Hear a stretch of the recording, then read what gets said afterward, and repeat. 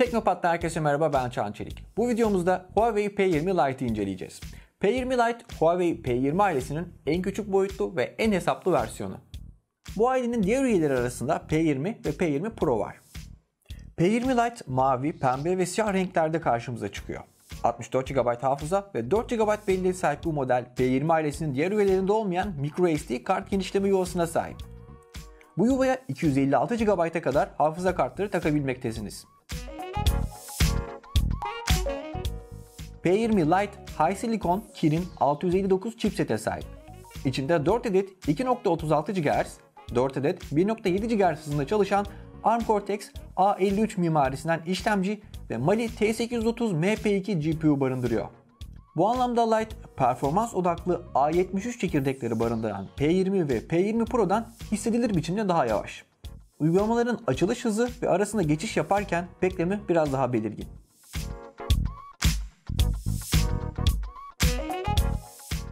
Ana hatlarına göz gezdirdiğimizde telefonun alüminyum çerçeve ve diğer P20 versiyonlarındaki camın aksine plastik arka kısma sahip olduğunu görüyoruz. Boyutları tek elde kullanım için gayet ideal. Arka kısımda kullanılan yüzey etkileyici ışık oyunlarıyla telefona hoş bir görünüm katıyor. Üst kısımdaki çentiğin Huawei tarafından P20 ailesine de uyarlandığını görüyoruz. Zira P20'nin her modelinde bu çentiği görebilmekteyiz. Bu çentiğe mesafe sensörü, hoparlör, küçük bir bildirim ışığı ve ön kamera sığdırılmış. Ön kamera 16 megapiksel çözünürlüğe sahip ve f2.0 diyafram açıklığı var. Çentiğin belirgin olmasını beğenmeyen kullanıcılar ekran ayarlarından bu çentiği gizlemeyi seçebiliyor. Ekran 5.84 inç boyutlarında ve LTPS IPS panel teknolojisini kullanıyor. Ekran telefonun %80.5'ini kapsıyor. Bu bakımdan çerçevelerin oldukça minimize edildiğini söyleyebiliriz. 19'a 9 en boy oranı ve 1920 x 2280 çözünürlük ile inç başına 432 piksel barındıran bir ekran bu. Renkler bana ilk bakışta biraz soğuk geldi. Bu sebeple ekran ayarlarından sıcak renk seçeneğini seçtim. Bu kullanıcıdan kullanıcıya değişebileceği için bir eksi ya da artı olarak görmüyorum. Kontrast bakımından bir OLED paneldeki kadar etkileyici değil. Sonsuz siyahlar göremiyorsunuz burada. Güneş altında ekranın görülebilirliği konusundaysa OLED'in eksikliğini görüyoruz. Güneşli havalarda metinlerin seçilmesi için ekran parlaklığı yeterince yüksek değil. Alt kısımda klasik 3.5 mm analog kulaklık çıkışının korunduğunu ve USB 2.0 destekleyen ters çevrilebilir USB Tip-C bağlantı noktasının olduğunu görüyoruz. USB bağlantısının hemen yanında hoparlör ızgarası konumlandırılmış. Hoparlörün sesi oldukça yüksek ve tatmin edici kalitede. Sol kısımda SIM kart ve SD kart yuvasını barındıran bölme ve sağ kısımda cihaz üzerindeki 3 adet buton konumlandırılmış. Bunlar ses açma, kısma ve güç tuşları. Cihazın arkasına baktığımızda sol üst köşeye konumlandırılmış çıkıntılı çifte kamerayla flaşı ve ortalanmış parmak izi sensörünü görmekteyiz. Kameraların ilki 16 megapiksellik ana kamerayken ikincisi 2 megapiksellik derinlik algılama kamerası. Ana kamerada kullanılan lensin diyafram açıklığı f2.2. Rakipleriyle kıyasladığımızda bu biraz düşük kalıyor. Çünkü daha uygun fiyatlı kameraların daha geniş diyafram açıklıklarıyla geldiğini gördük. Diyafram açıklığı kameranın sensörüne giden ışık miktarını doğrudan etkilediği için düşük ışık performansını belirleyen ana faktörlerden birisi.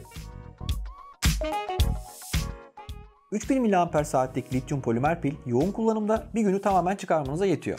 Bunda güç tasarruflu ARM Cortex A53 mimarili işlemcinin katkısı da büyük. Hızlı şarj özelliği kutudan çıkan adaptörle mümkün olsa da fazla etkileyici olmadığını belirtmemiz gerek. 5 volt 2 amper ile gerçekleşen hızlı şarj yaklaşık 2 saatte telefonu tamamen dolduruyor.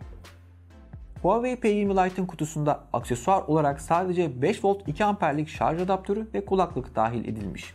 Kulaklıklar P20 ve P20 Pro modellerinden biraz daha basit ve şarj cihazı diğer modellerdeki gibi 5 volt 4.5 ampere kadar hızlı şarjı desteklemiyor. Dikkat ettiğimiz bir diğer nokta kutudan telefon kılıfı çıkmaması ve ekrana uygulanmış bir film olmadığı oldu. Huawei'nin Mate 10 serisinde kutuya dahil ettiği saydam kılıf ve ekrana yapıştırılmış gelen çizilme engelleyici film bizce kullanıcı dostu bir uygulamaydı. Telefon Android ve MUI 8.0 sürümüyle geliyor.